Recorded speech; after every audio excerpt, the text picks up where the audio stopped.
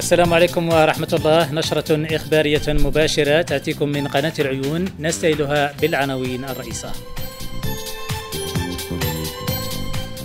صاحبة السمو الملكية الأميرة ليلى حسناء تترأس الجائزة الكبرى لبطولة لونجين العالمية للقفز على الحواجز. حدث رائد اكتسب شهرة عالمية ويقام لأول مرة على أرض إفريقية.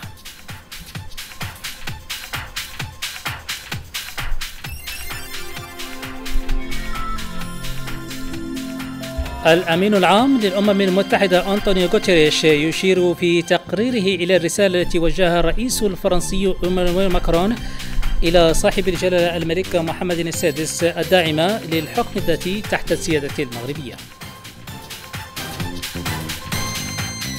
وضمن النشرة لاحقا حملة طبية موسعة خاصة بصحة النساء والأطفال بمبادرة من المبادرة الوطنية للتنمية البشرية بسيدي إفني.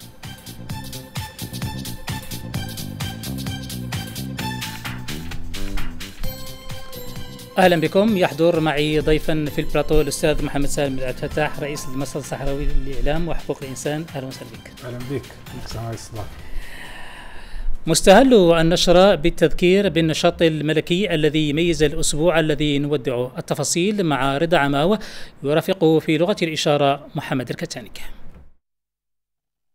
في بداية أشغال المجلس وطبقا لأحكام الفصل التاسع والأربعين من الدستور قدمت السيدة وزيرة الاقتصاد والمالية عرضا أمام جلالة الملك حول الخطوط العريضة لمشروع قانون المالية لسنة 2025 وقد أبرزت السيدة الوزيرة أنه تم إعداد هذا المشروع في سياق دولي صعب بسبب استمرار التوترات الجيوسياسية وتصاعد الأزمات المناخية.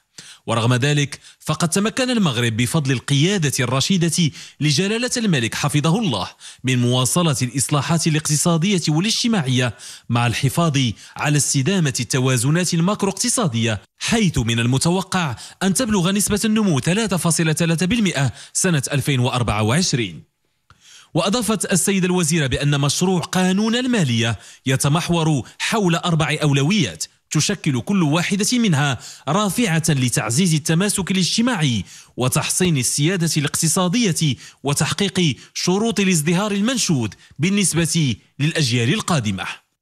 أولا مواصلة تعزيز أسس الدولة الاجتماعية لا سيما من خلال التنزيل المنسجم والفعال لورش تعميم الحماية الاجتماعية. كما ستتم مواصلة تنزيل خارطة الطريق لإصلاح المنظومة التربوية ودعم الحوار الاجتماعي إضافة إلى تنزيل مختلف الأوراش التي تدخل في إطار برنامج إعادة البناء والتأهيل العام للمناطق المتضررة من آثار زلزال الحوز وتأهيل المناطق المتضررة من الفيضانات بالجنوب الشرقي للمملكة. ثانيا توطيد دينامية الاستثمار وخلق فرص الشغل طبقا للتعليمات الملكية السامية وذلك من خلال تحفيز الاستثمار الخاص وتنزيل ميثاق الاستثمار حيث سيتم التركيز على تسريع عملية المصادقة على المشاريع الاستثمارية وعلى التحسين المستمر لمناخ الأعمال.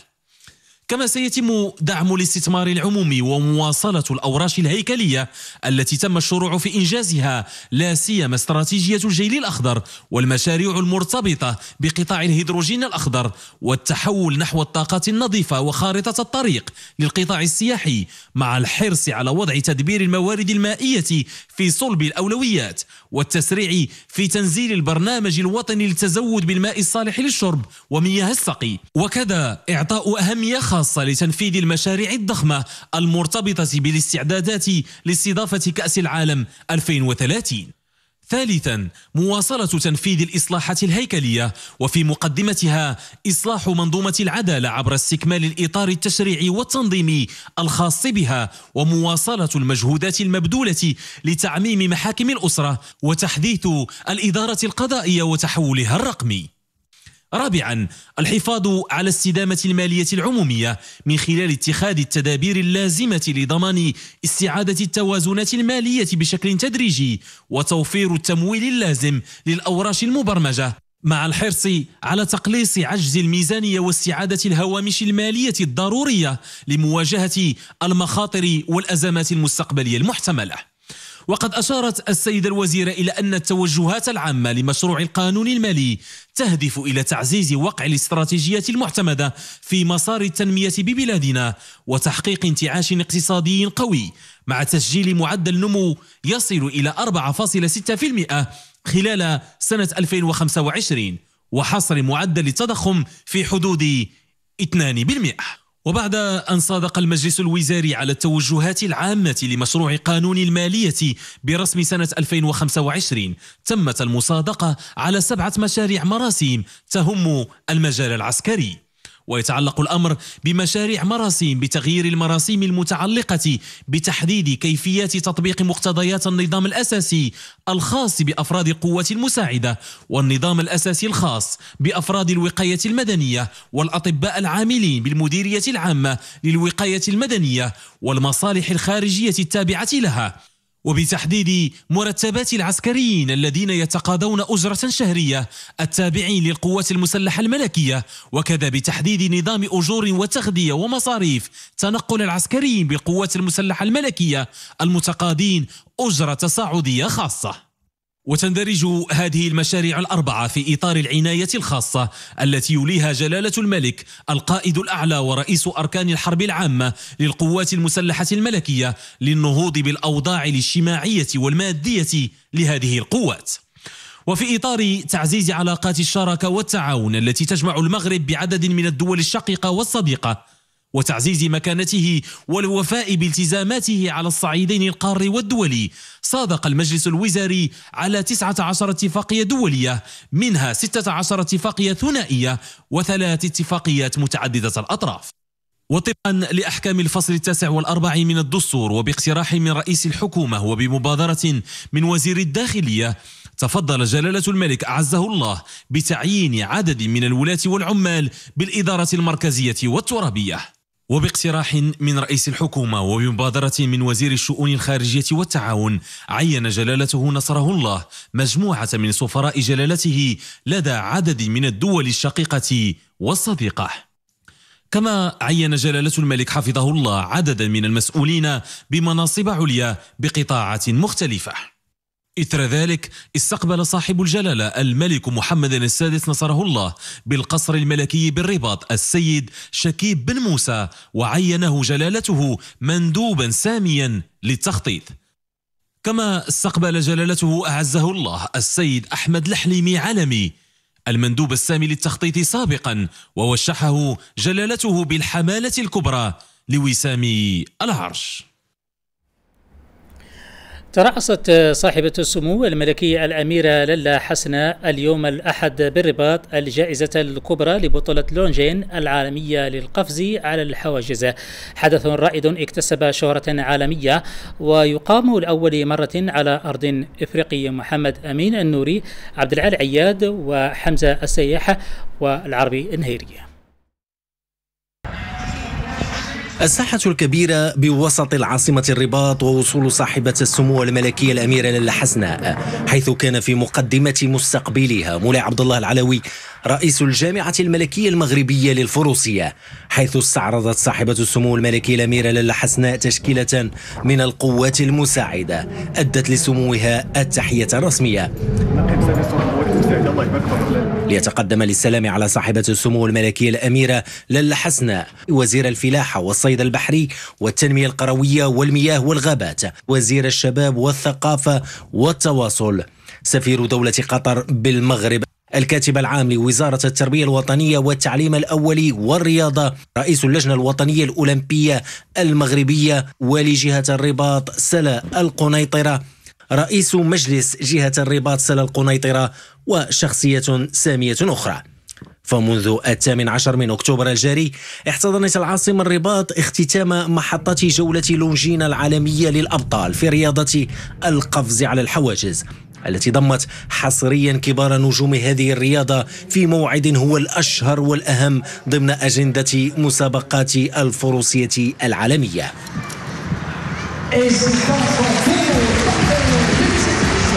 اختتام جولة لونجين العالمية للأبطال حطت الرحال لأول مرة بالرباط ومعها فتح المجال للجمهور المغربي لمتابعة كبار نجوم هذه الرياضة الأولمبية وهم يقدمون أقوى العروض بعاصمة الأنوار الرباط. المسابقة مرت من محطات ميامي روما باريس شانغاي والدوحة ما يجعل المغرب واحدا من الدول الرائدة في مجال استقبال التظاهرات الرياضية العالمية الكبرى.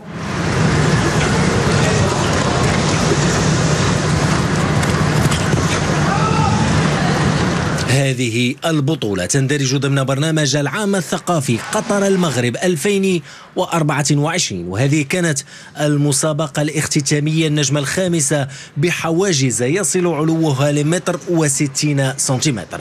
حيث كان التألق في هذه المرحلة لصالح الإسباني إدواردو ألباريس الذي حاز الصف الأول فيما احتلت السويسرية مالين باريار جونسون المركز الثاني واكتفت الألمانية ياني فريدريك زيمرمان بالصف الثالث.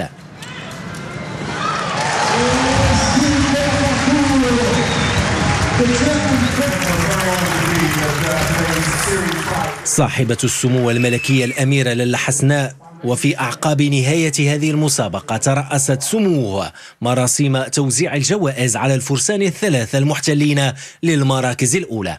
الفائز بجولة لونجين العالمية للأبطال 2024 بعد 15 محطة عبر العالم اختتمت هذا اليوم بالعاصمة الرباط. الفارس ماكس كونهر من النمسا يفوز بنسخة جولة لونجين العالمية ب 254 نقطة.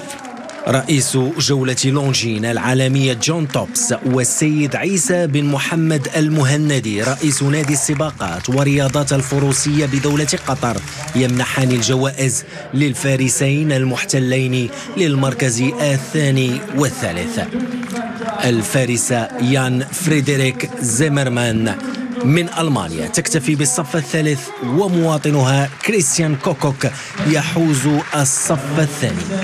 صاحبة السمو الملكية الأميرة لالا حسناء تمنح جائزة جولة لونجين العالمية للنمساوي ماكس كوهنر الفائز بنسخة 2024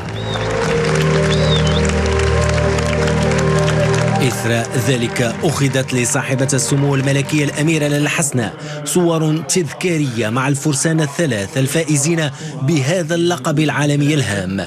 ليسدل الستار على هذه المحطة الختامية بالرباط التي تميزت بالعطاء التقني الكبير والتنظيم المحكم الذي أبهر الفرسان المشاركين في هذه البطولة.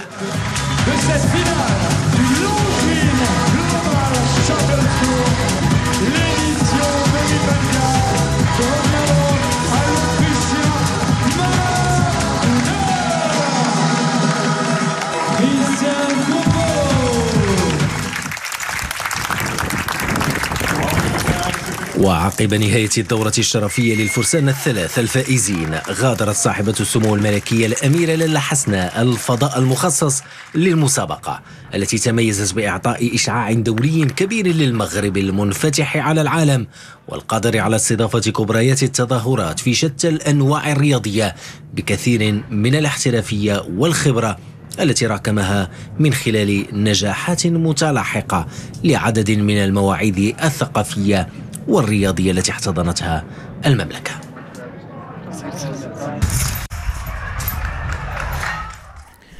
في تقريره الموجه إلى مجلس الأمن حول الصحراء المغربية أشار الأمين العام للأمم المتحدة أنطونيو غوتيريش إلى الرسالة التي وجهها الرئيس الفرنسي إيمانويل ماكرون إلى صاحب الجلالة. الملك محمد السادس الداعمة للحكم الذاتي تحت السيادة المغربية كإطار وحيد لتسوية النزاع حول الصحراء المغربية. تقرير تضمن إشارات إلى الزخم الدبلوماسي لافتتاح القنصليات بمدن العيون والداخل إضافة إلى النهضة التنموية المتواصلة بالصحراء المغربية. تقرير غالي القرحي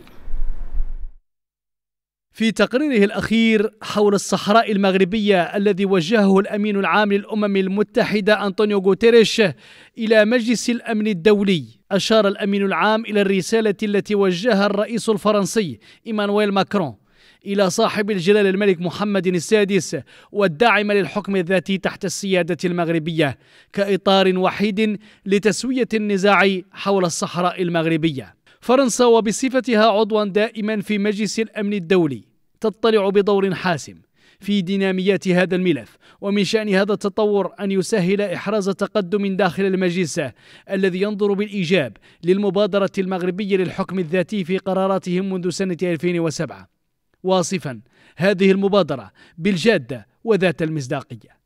الموقف الفرنسي الجديد يهدف أيضا إلى مواكبة جهود الامين العام للأمم المتحدة. ومبعوثه الشخصي ستيفان دي ميستورا الرامية إلى إعادة إطلاق العملية السياسية تحت الإشراف الحصري للأمم المتحدة. من خلال تحفيز مناخ دبلوماسي أكثر ملائمة لاستئناف اجتماعات الموائد المستديرة والمناقشات على أساس المبادرة المغربية للحكم الذاتي. الدعم الفرنسي الواضح للسيادة المغربية على الأقاليم الجنوبية. يأتي ليعزز الاعتراف المتزايد بمبادرة الحكم الذاتي. مما يمنحها شرعية أقوى على الساحة الدولية باعتبارها الحل الوحيد القابل للتطبيق لهذا النزاع حيث عبرت حوالي 110 من الدول الأعضاء في الأمم المتحدة من بينها عضوان دائمان في مجلس الأمن و19 عضوا في الاتحاد الأوروبي والعديد من بلدان إفريقيا وآسيا وأمريكا اللاتينية والعالم العربي فضلا عن منظمات الإقليمية عن دعمها للمقترح المغربي. وكما ورد في تقرير الأمين العام للأمم المتحدة المقدم إلى مجلس الأمن فإن المغرب سيواصل وفقا للتوجيهات السامية لجلالة الملك تكثيف جهوده الدبلوماسية من أجل حشد دعم واسع للمبادرة المغربية للحكم الذاتي كحل قابل للتطبيق وقائم على التوافق.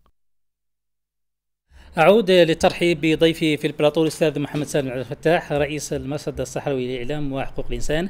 آه، أستاذ محمد سالم كما ورد في التقرير الأمين العام للأمم المتحدة يحيط علما المجلس بالموقف الفرنسي الداعم لمبادرة الحكم الذاتي كحل وحيد حول هذا النزاع المفتعل حول الصحراء المغربية.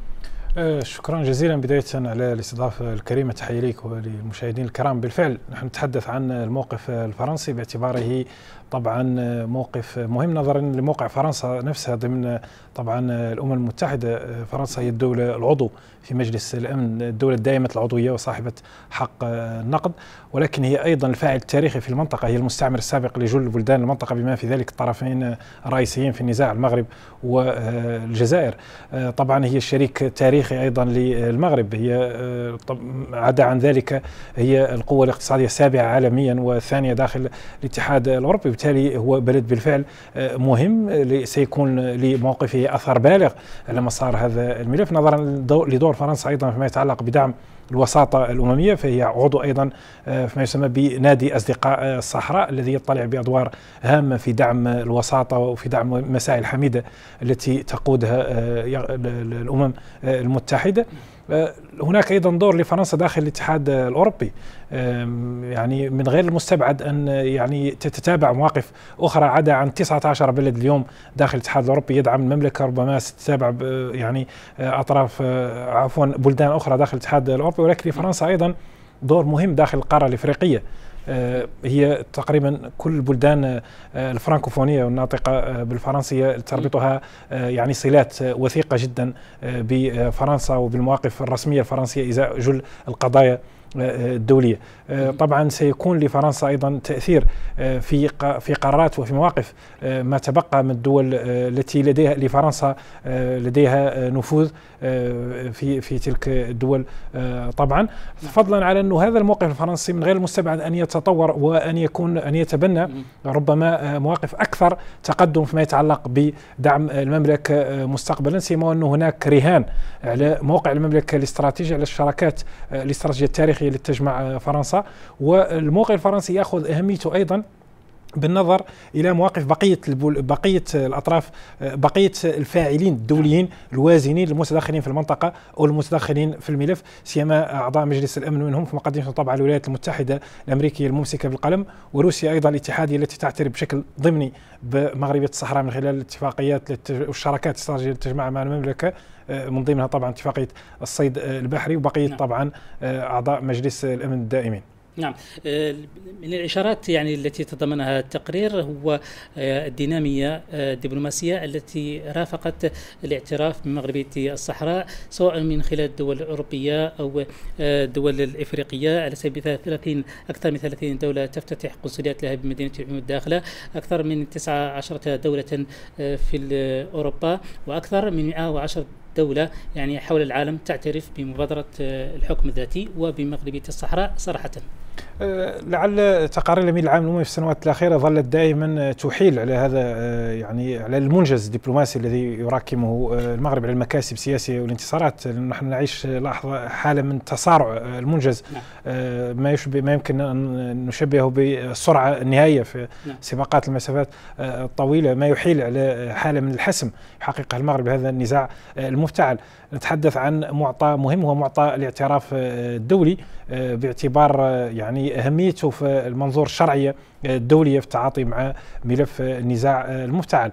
أشرت في سؤالك إلى 30 بلد يفتتح بعثات دبلوماسية في مدينتي العيون والداخل وهذا في حد ذاته يعد أرقى تجسيد لهذا الاعتراف الدولي.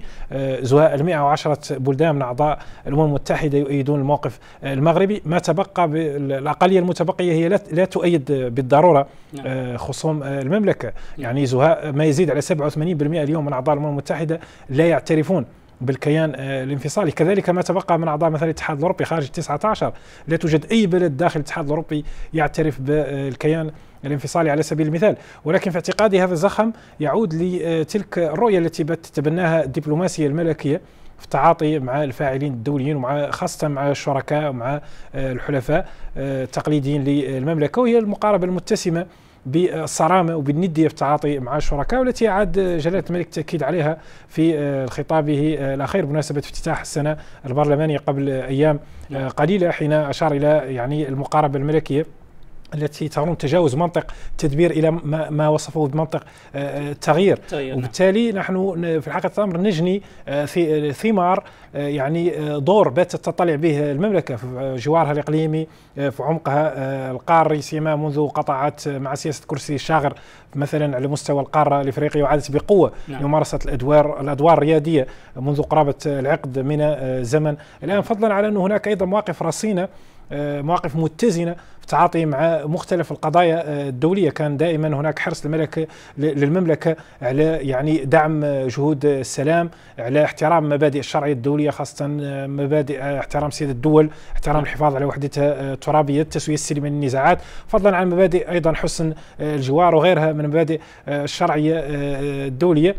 إلى جانب أيضا الجهود الإنسانية والإغاثية ودعم جهود السلام واحتضان الفرقاء السياسيين وتدبير المساهمة في تدبير آه، يعني الوساطات في عديد الأزمات في الساحه آه، الدولية. هناك موقع مهم على المستوى الاقتصادي على المستوى السياسي على المستوى الإنساني وعلى المستوى الروحي أيضا.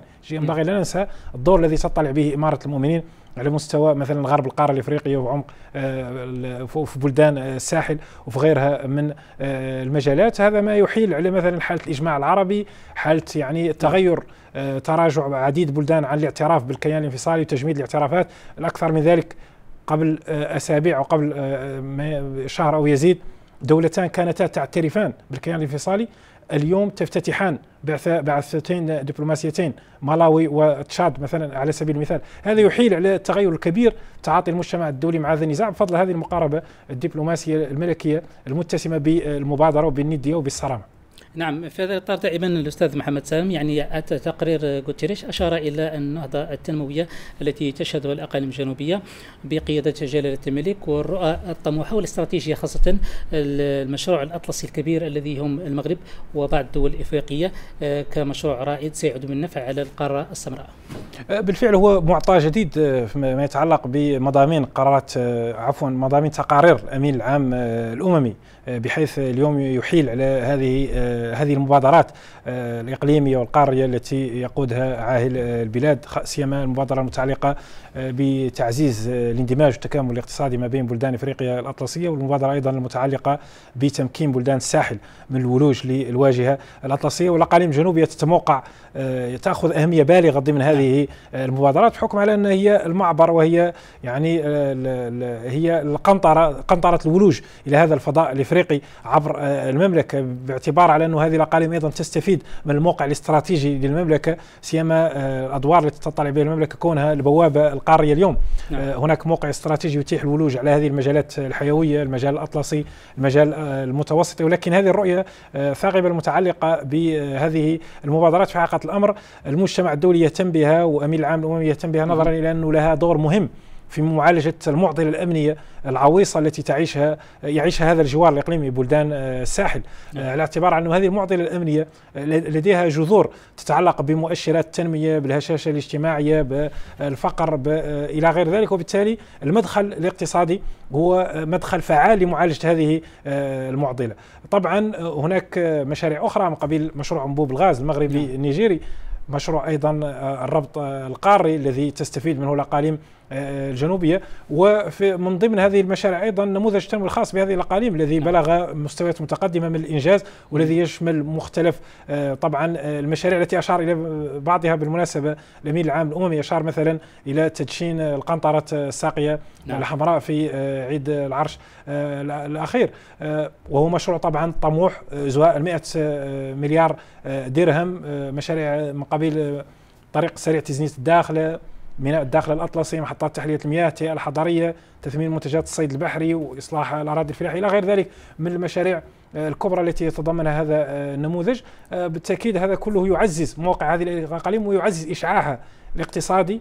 إشعاعها آه، الدبلوماسي ولكن إشعاعها التنموي أيضا. نعم جميل. آه، طبعا الأستاذ يعني محمد سالم يعني هذه أهم يعني ال ال يعني الخلاصات التي خرج بها التقرير غوتشيريش آه، شفنا مثلا تقرير حول الموقف الفرنسي حول الدينامية التنموية وحول الدينامية كذلك الدبلوماسية كخلاصات بالنسبة لباقي ما عرج عليه التقرير من وجهة نظركم أستاذ محمد سالم. كدأبه الامين العام الأممي دائما ما يتطرق إلى طبعا المسار مسارين رئيسيين المسار السياسي والمسار أيضا آه، الميداني.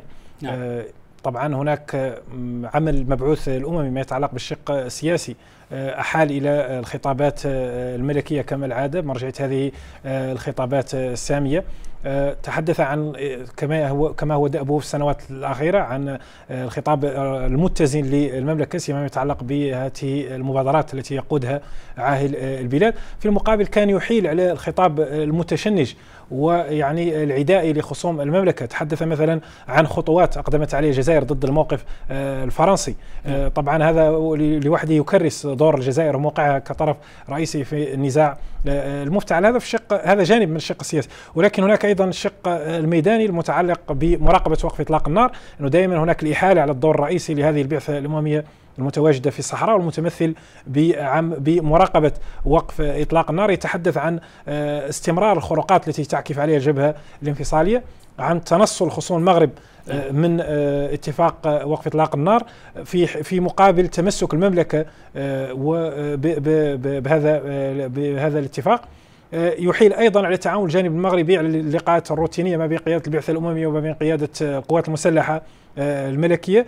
آه، يتحدث أيضا عن عراقيل بالجمله تهم عمل البعثة الميداني من قبيل آه، منع الدوريات رفض الترخيص لزيارات المواقع العسكرية الجبل الانفصالي في تندوف عرقلة القوافل اللوجستية وصعوبات حتى في التواصل ما بين البعثة وما بين خصوم المملكة. في المقابل يشيد طبعا بتيسير وتسهيل عمل البعثة في مناطق غرب الجدار. يتحدث عن آلاف طلبيات الدوريات التي تمت الاستجابة إليها ولكن في اعتقادي الجانب المهم أيضا في الشق الميداني هو على أنه ينفي جملة وتفصيلا تلك الدعاية التي يعكف عليها خصوم المغرب. يقول على أنه لم يبلغ لعلم البعثة حدوث أي خسائر مثلا في الجانب المغربي ويحيل أيضا على مناخ الأمن والاستقرار المستتب في هذه الأقاليم. نعم أستاذ محمد سالم عبد الفتاح رئيس المرصد الصحراوي للاعلام وحقوق الإنسان شكرا جزيلا لك. كل الشكر على الاستضافة. نعم. على غرار باقي طلبة المؤسسات الجامعية اجتاز طلبة المدرسة العليا للتكنولوجيا بالعون اختبار الكفاءات اللغوية لتشخيص مستوى الطلبة في اللغات الأجنبية. التفاصيل مع غالي قرحي وبجمع الزاوية هو اختبار يروم الوقوف على الكفاءة اللغوية لمعرفة قدرة الطالب على التواصل بفعالية في بيئة أكاديمية متعددة الثقافات حيث يتوجب على كل طالب بالنظام البيداغوجي الجديد أن يقوم بتفعيل حسابه المؤسساتي ثم يقوم باجتياز اختبار تحديد المستوى في اللغتين الفرنسية والإنجليزية على أن يتابع دراسة هاتين اللغتين عن بعد عن طريق منصة إلكترونية تم إعدادها لهذا الغرض. كما سيتابع الطلبة دراستهم في اللغتين الإنجليزية والفرنسية حضوريا لما يقل عن ثمان ساعات بالنسبة لكل لغة. وعند نهاية كل أسدس يجتاز الطلبة الامتحان في هاتين اللغتين عن بعد عن طريق المنصة الإلكترونية وكذلك امتحانا حضوريا. اليوم هو يوم مميز جدا بالنسبة لطلبة المدرسة العليا. ليس فقط لطلبة المدرسة العليا للتكنولوجيا في العيون وإنما على الصعيد الوطني في جميع الجامعات المغربية لأننا نعيش يوم مهم بالنسبة لتعليم اللغات لأن الطلبة اليوم مقبلون على في مقبلون على اجتياز اختبار تجريبي أولي بالنسبة لمستواهم في اللغات الأجنبية. الثلاث خاصة الإسبانية والفرنسية والإنجليزية. اليوم اجتزنا اختبار الكفاءة اللغوية في اللغتين الفرنسية والإنجليزية. يهدف الاختبار إلى تحديد مستوى الطلبة في هاتين اللغتين لتحديد نوعية التكوين الذي سيحظى به الطلبة في الكفاءة اللغوية. لسياس اختبار في تحديد مستوى في اللغتين الإنجليزية والفرنسية باش نحدوا إن شاء الله مستوانا في اللغة ونواكبوا تطور اللغة باش إن شاء الله من نقبضوا الدبلوم يكون عندنا وثائق شهادات. شهادة ديال اللغة اللي تمكنا إن شاء الله من إكمال دراسة خارج الدولة دون أي مشكل في اللغة إن شاء الله. يعتبر اجتياز هذه المرحلة من اختبارات الكفاءة اللغوية خطوة مهمة نحو تحديد مستوى الطلبة لمعرفة حاجياتهم اللغوية وتقويتها عبر برنامج تكويني خاص مختوم بشهادة معترف بها. تحقق الطموحات الأكاديمية والمهنية وتعزز من قدرة الأفراد على التفاعل في عالم متسارع. نظمت المديرية الإقليمية لوزارة التربية الوطنية والتعليم الأولي والرياضة ببجدور على مدى يومين أياما دراسية حول تقييم الدخول المدرسي تحت شعار الدخول المدرسي حصيلة وأفاق. فعاليات الأيام تخللتها لقاءات وورشات بمشاركة مختلف مكونات المنظومة التربوية. بريغنا عروسية محمد شرف. بلورة خطة إقليمية لدعم النجاح المدرسي وتحسين الأداء التربوي بالمؤسسات التعليمية وتحقيق التميز الدراسي الغاية الأساس. من تنظيم اللقاء الذي احتضنته قاعة الاجتماعات بالمديرية الإقليمية للتعليم ضمن فعاليات الأيام الدراسية حول تقييم الدخول المدرسي بالإقليم. هذه الأيام الدراسية التي تناولت جميع الحيثيات التربوية والبشرية والمادية والمالية من خلول التي رافقت الدخول المدرسي لهذه السنة الدراسية. الإكراهات مكامن القوة وأيضا الأمور التي يجب العمل عليها في إطار تكامل تربوي يجمع جميع شرائح المجتمع التربوي وأيضا الشركاء. في إطار عمل متناسق في إطار أيضا عمل بناء من أجل بناء مفهوم تربوي حديث من أجل تبادل الاراء من أجل أيضا العمل على استتباب الحصيلة الجيدة. وبالتالي فهذه الورشات المنظمه طرف المديرية الإقليمية هي ورشات مهمة من أجل البحث عن بعض الحلول المبتكرة لبعض الإكراهات التي تعيق الدخول المدرسي من قبيل مثلا عدم الالتحاق المبكر للتلاميذ الحركة ديال التلاميذ ما بين المؤسسات عدم استقرار الأطر إتمام بعض العمليات المتعلقة بالتأهيل وبالتالي نأمل آه، بأن تكون مخرجات هذا اليوم التقييمي تفيد إنجاح المحطات المقبلة للدخول المدرسي. هذا وتسعى المديرية الإقليمية لوزارة التربية الوطنية والتعليم الأولي والرياضة ببجور من خلال تنظيمها لمثل هذه الأيام الدراسية إلى إعداد خارطة عمل قادرة على إنجاح الفعل التربوي وتحقيق مدرسة الجودة جنبا لرفع من مردودية المنظومة التربوية. كانت كذلك مناسبة لنا كشركاء ديال ديال المديرية لبسط وعرض يعني مختلف الشراكات اللي كتجمعنا مع مع قطاع التعليم واللي يعني من خلالها كنديروا واحد التقييم واحد الوقفة تقييمية لمختلف المشاريع وفرصة كذلك لتتبع هذه المشاريع ولكن كذلك حتى يعني كنعتبروها واحد اللقاء اللي هو لقاء تشاوري تشاركي. ونتمنى إن شاء الله سنة دراسية جيدة. ونتمنى عن هذه الناشئة تحصل على تحصيل دراسي جيد في هذه السنة. وإحنا إن شاء الله متعاونين بصفتنا كجمعية آباء وامهات مع المنظومة التربوية. للإقليم. والله إن شاء الله يوفق الجميع. الأيام الدراسية سطرت مجموعة أهداف ومن بينها تنزيل أهداف والتزامات خارطة الطريق 2022-2026 والمتمثلة في رفع نسب التحكم في تعلمات الأساس وتقليص نسب الهدر المدرسي وتفعيلا لأوراش الإصلاح التي تروم تطوير وتنمية المنظومة التربوية والرفع من مردوديتها. نظم أحد المعاهد الخاصة المتخصصة في الصحافة والاتصال بمدينة الداخلة حفل تخرج الدفعة الثانية من طلبة دبلوم تقني متخصص في مجال السمع البصري. وخلال هذا الحفل عرض بعض الأعمال التي أنجزها الطلبة كجزء من مشاريعهم النهائية وتوزيع الشهادات على الخريجين. بكر دليمي ومحمد الداسة نظم معهد الصحافة والاتصال بمدينة الداخلة حفل تخرج الدفعة الثانية من طلبة دبلوم تقني متخصص في مجال السمع البصري الحفل كان مناسبة للاحتفاء بإنجازات الطلبة الذين أمضوا سنوات من الجهد والدراسة لاكتساب مهارات عالية في مجال الصحافة والإنتاج السمعي البصري شهد الحفل إلقاء عدد من الكلمات صبت حول الدور الكبير الذي يلعبه المعهد في تأهيل كوادر قادرة على منافسة في السوق خاصة في مجال الإعلام السمعي البصري.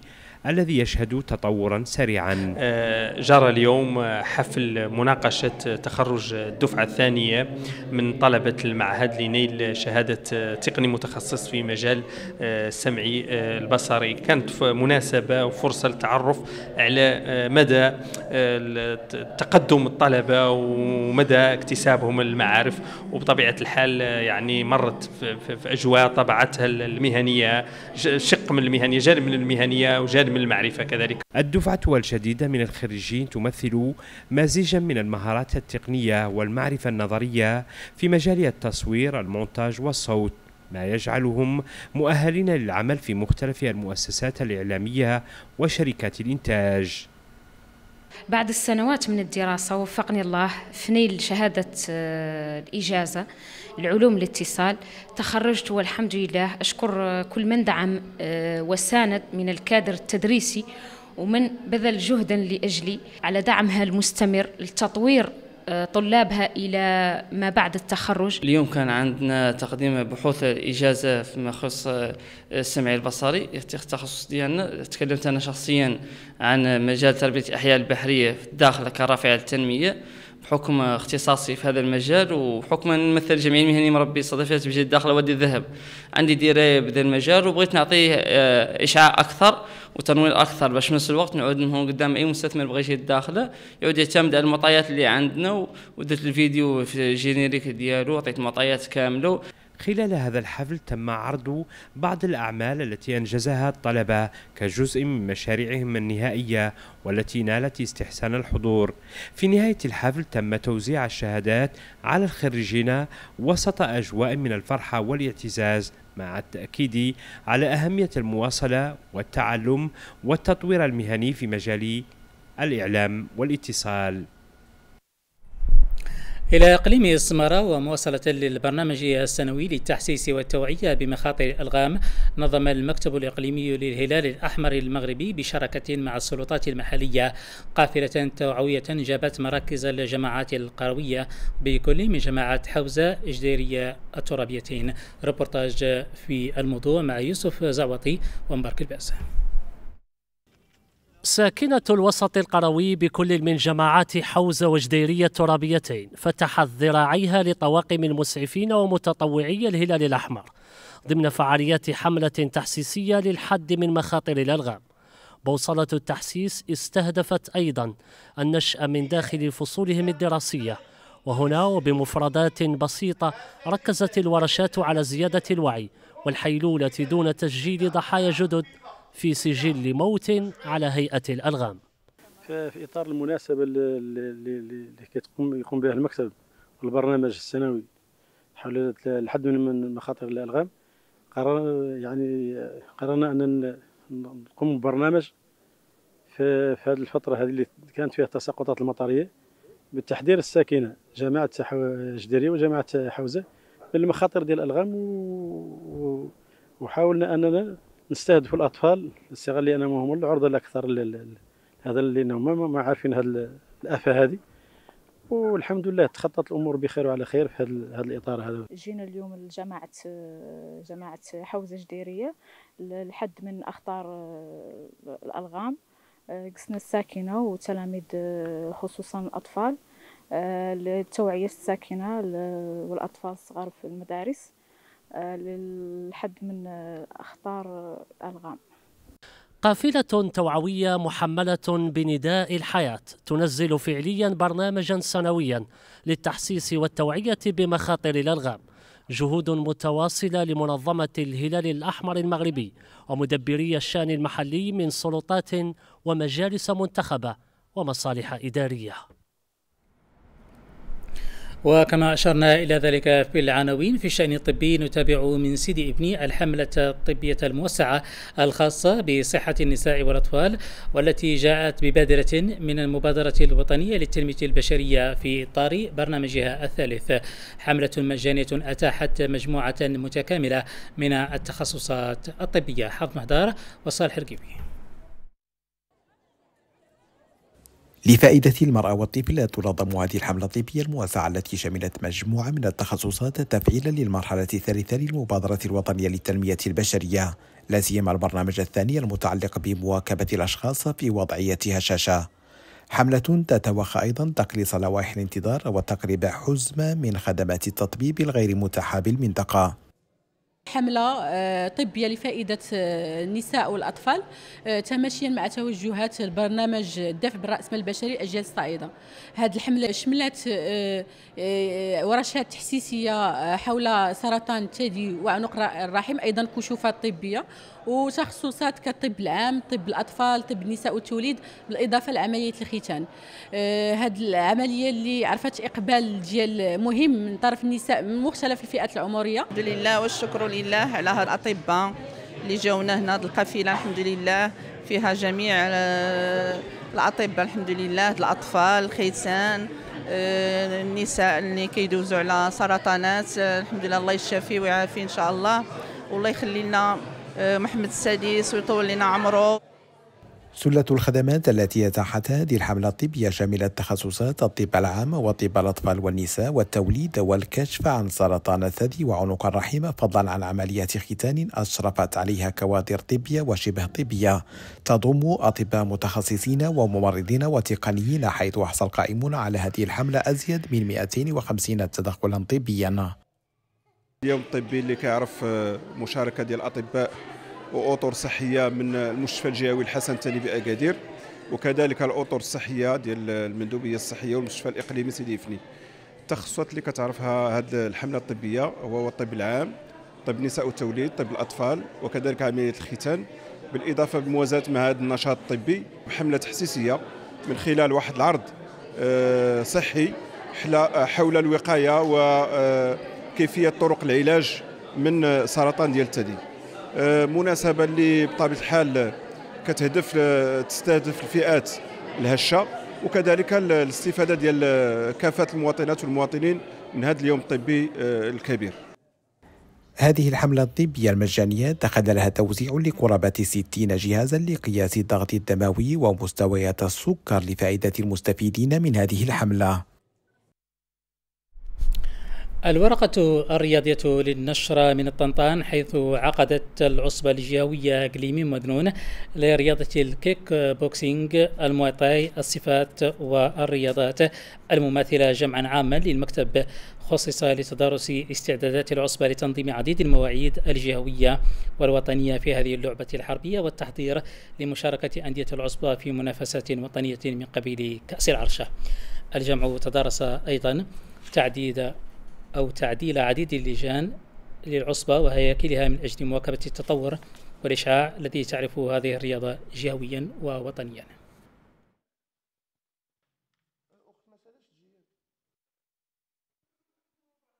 تم اليوم اجتماع المكتب المسير للعصبة الجهادي المودنون من أجل مناقشة عدة نقاط اللي كتحمل في جدول الأعمال من أجل تعديل بعض اللجان اللجان الجهوية. وأيضا اجتمع بعض رؤساء اللجان من أجل شرح المنهجية الجديدة لتسيير العصبة الجهادي المودنون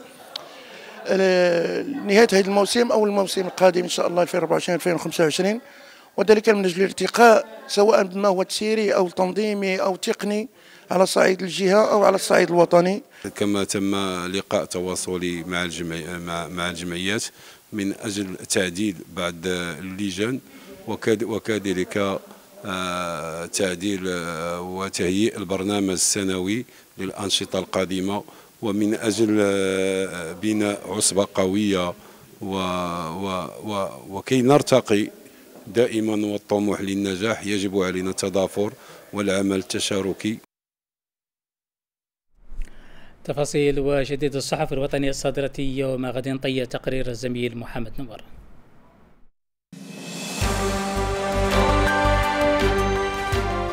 نستهل قراءتنا بجديد الصحف الصادرة يوم غد الاثنين من يومية الأحداث المغربية وكتبت في تقريره السنوي حول الصحراء المغربية إلى أعضاء مجلس الأمن سلط الأمين العام للأمم المتحدة أنطونيو غوتيريس الضوء على عدد من التجاوزات من جانب جبهة البوليساريو التي لا تساعد في التوصل إلى حل سياسي دائم إضافة إلى تحذيره من الوضع المأساوي السائد بمخيمات التندوف وفيما يتعلق بالخروقات.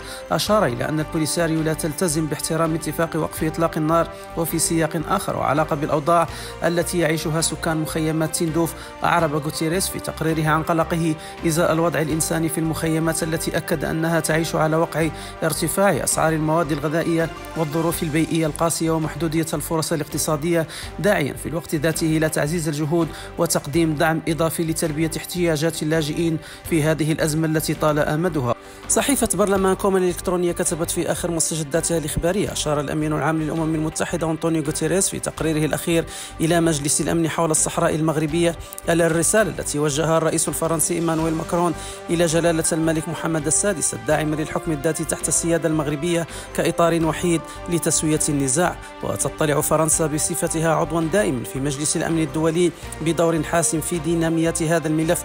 ومن شأن هذا التطور أن يسهل إحراز تقدم داخل المجلس الذي ينظر بالإيجاب للمبادرة المغربية للحكم الذاتي واصفا إياها بالجادة وذات المصداقية كما يهدف الموقف الفرنسي الجديد إلى مواكبة جهود الأمين العام للأمم المتحدة ومبعوثه الشخصي الرامية إلى إعادة إطلاق العملية السياسية تحت الإشراف الحصري للأمم المتحدة من خلال تحفيز مناخ دبلوماسي أكثر ملائمة لاستئناف اجتماعات الموائد المستديرة والمناقشات على أساس المبادرة المغربية للحكم الذاتي. صحيفة هسبريس الإلكترونية كتبت في آخر مستجداتها الإخبارية للمرة الثامنة سلط الأمين العام للأمم المتحدة أنطونيو غوتيريس الضوء على دينامية التنمية السوسيو اقتصادية والأوراش الهيكلية في الصحراء المغربية وذلك في تقريره السنوي لأعضاء مجلس الأمن حول الصحراء ويشكل تكريس الإشارة إلى النموذج التنموي السوسيو اقتصادي في الصحراء المغربية اعترافا بالجهود التي تبذلها المملكة من أجل تحقيق تنمية مستدامة ومسؤولة تمزج بين خلق الثروات والتهيئة المجالية وحماية البيئة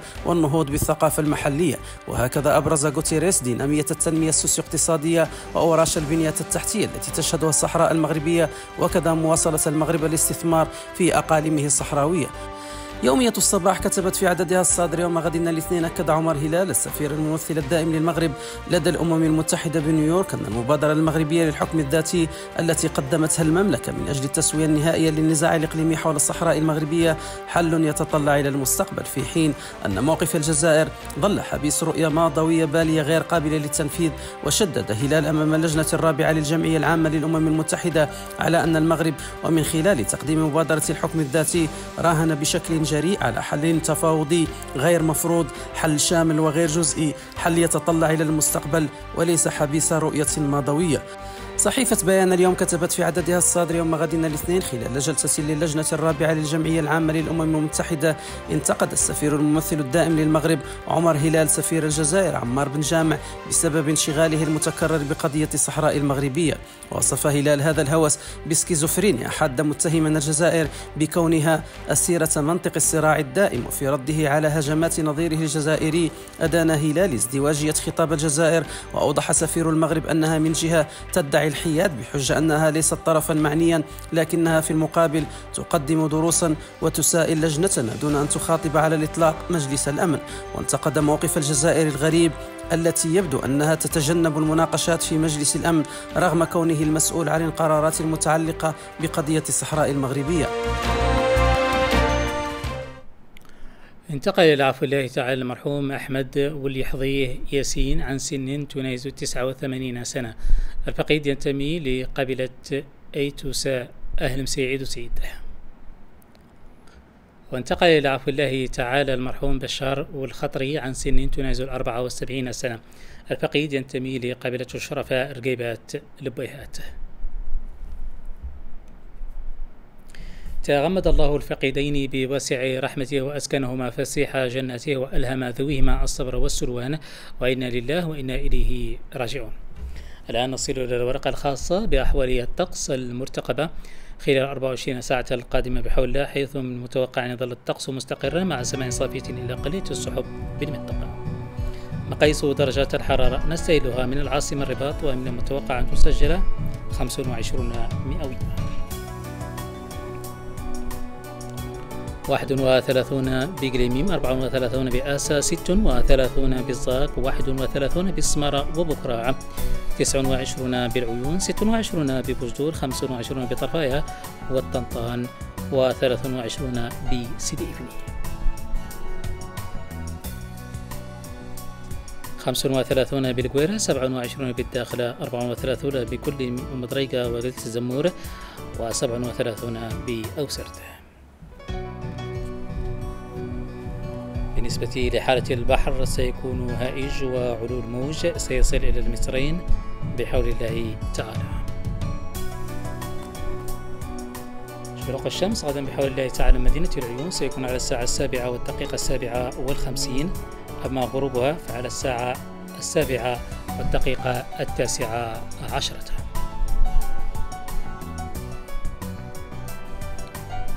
مقاييس درجات الحرارة ببعض المدن والعواصم المجاورة لبلادنا. 34 بالرابوني 37 بتودني وباماكو. 40 من المتوقع أن تسجل بالعاصمة الموريتانية. نواكشوط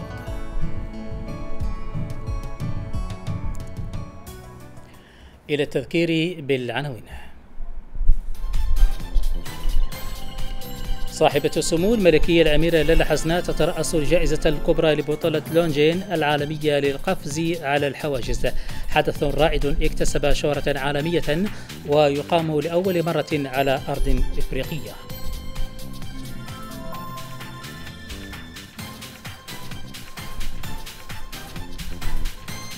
وتابعنا ضمن النشرة الأمين العام للأمم المتحدة أنطونيو غوتيريش يشير في تقريره إلى الرسالة التي وجهها إلى الرئيس الفرنسي إيمانويل ماكرون إلى صاحب الجلالة الملك محمد السادس الداعمة للحكم الذاتي تحت سيادة المغربية.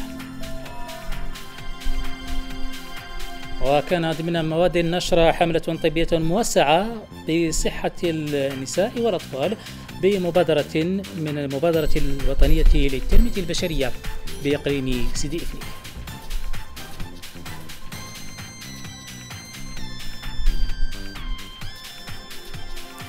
ختاما لكم تحيات الطاقمين الصحفي والتقنيين المشرفين على هذه النشرة المباشرة من قناة العيون. أطيب المنى والسلام عليكم.